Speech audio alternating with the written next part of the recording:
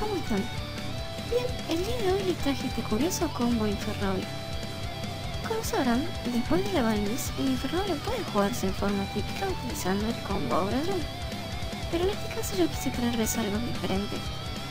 Espero que les haya gustado mucho este video y agradecería mucho el apoyo, ya sea con un like, un comentario y si te gusta mi contenido la suscripción para ver más videos así. Muchísimas gracias por ver el video y hasta el próximo video. Bye bye. Adiós.